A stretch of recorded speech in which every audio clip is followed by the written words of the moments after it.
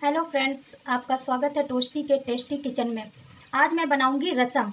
रसम बनाने के लिए मैंने मीडियम साइज़ के तीन टमाटर लिए, जिसे मैं इस लंबे लंबे आकार में काटूँगी और पतला पतला काटना है आपको।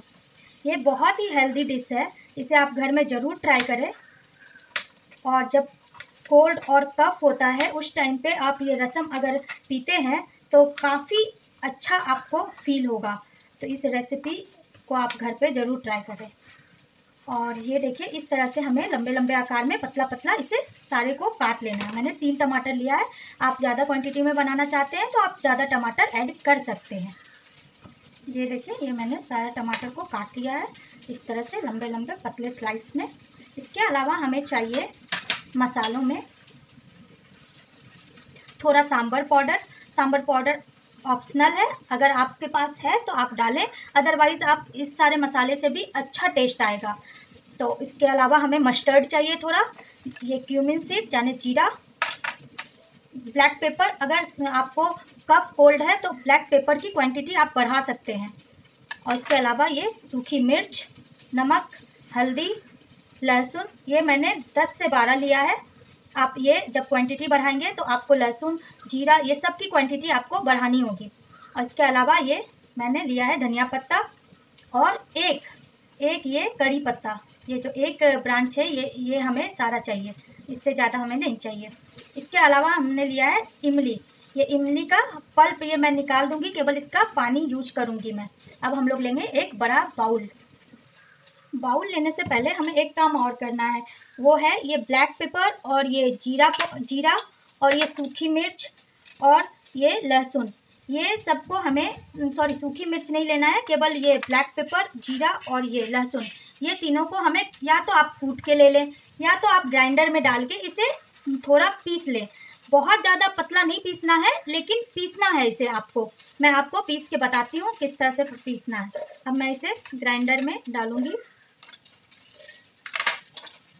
और इसे पानी डाल के, क्योंकि ये बहुत कम क्वांटिटी में है तो पानी हमें जहाँ डालना होगा, डाल करके हमें इसे पीस लेना है। ये देखिए, ये मैंने पीस लिया है। ये पूरा आपको स्मूथ पेस्ट नहीं बनाना है, आपको दरदरा सा रखना है थोड़ा। और या फिर आप खल में भी कूट सकते हैं इसे। इस तरह से आप पानी डाल के एक दरदरा सा पेस्ट बनाए। अब हम लोग एक बाउल लेंगे और इसमें हम लोग ये कटा हुआ टमाटर सारा डाल देंगे। टमाटर डालने के बाद हम लोग इस ग्लास से डेढ़ ग्लास पानी डालेंगे। ये देखिए, इसमें मैंने एक ग्लास ऐड किया ये आधा ग्लास मैं ये से साइड में रखी हूँ। अब इसे हाथ से मिक्स करना है। अगर हाथ से आप नहीं मिक्स करना चाहते, आपके पास इस तरह का अगर है तो आप इससे आप मिक्स कर सकते हैं, इस तरह से मिक्स करना है आपको। अगर इस तरह का आपके पास नहीं है तो आप इसे हाथ से भी मिक्स कर सकते हैं। मैं इसे साइड रखती हूँ, आपको हाथ से ही मिक्स करके दिखाती हूँ। अब इसमें हम लोग पहले ऐड कर लेंगे नमक अकॉर्डिंग टू टेस्ट नमक डाल देना है, फिर थोड़ा हल्दी। और ये जो मैंने पीस के रखा था, ये सारा मैं इसमें ऐड कर दूँगी। ये जो बचा हुआ पानी है, मैं इसको धुल के इसमें अच्छे से डाल दूँगी।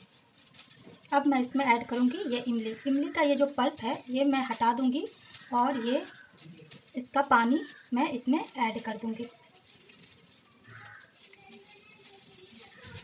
उसके बाद हमें ऐड करना है ये रसम पाउडर। ये ऑप्शनल है, अगर आपके पास नहीं है तो आप ना यूज़ करें तो भी टेस्ट बहुत अच्छा आएगा।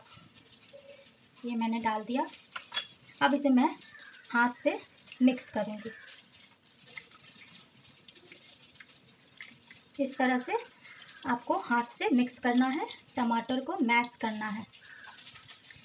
ये बहुत ही हेल्दी रेसिपी है। ये साउथ इंडिया में बहुत फ़ेमस है और ये पीने में भी बहुत अच्छा लगता है। आप इसे चावल के साथ सर्व कर सकते हैं या फिर आप रसम पापड़ भी खा सकते हैं। इस तरह से आपको मैश करना है। ये हाथ से मैंने मिक्स कर दिया है। अब मैं दो चार बार इससे भी मैं चला के अच्छे से इसे मिक्स कर लूँगी। आराम से धीरे धीरे आपको चलाना है और मिक्स कर लेना है। अब मैं इसमें ऐड करूँगी ये सांबर लीफ ये मैंने चार पत्ता तेल में डालने के लिए, तड़के के लिए रखा है। बाकी सारे पत्ते मैं इसमें ऐड करना, कर दूँगी। ये देखिए, इस पत्ते को आपको तोड़ के ऐड करना है। इस तरह से आप तोड़ दें, तोड़ के डालें और थोड़ा धनिया पत्ता अभी मिक्स करना है। थोड़ा आप गार्निश के लिए रख सकते हैं और फिर इसे इस तरह से चलाना है। मतलब सारा काम आपको अभी ही कर लेना है। बस गैस ऑन करने पे आपको केवल तड़का लगाना है इसे। बस आपका रेडी हो जाएगा। रसम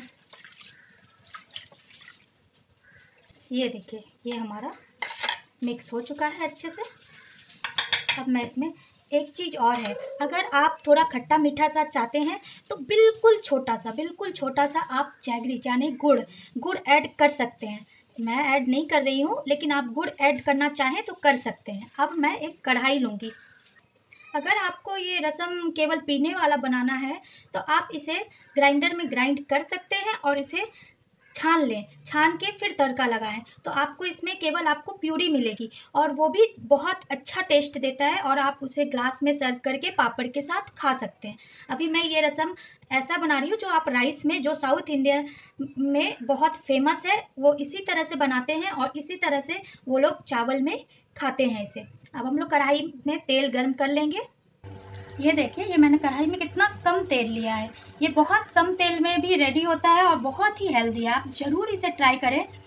अब देखिए, मैं इसमें सबसे पहले डालूँगी मस्टर्ड ये जो मैंने तड़के के लिए रखा था मस्टर्ड इसके बाद डालूँगी ये रेड चिली इसके बाद ये करी पत्ता जो मैंने रखा था साथ इसे मैं डाल दूँगी। इसे जलने नहीं देना है। उससे पहले आपको ये ग्रेवी जो मैंने रेडी करके रखा है, ये मैं डाल दूँगी।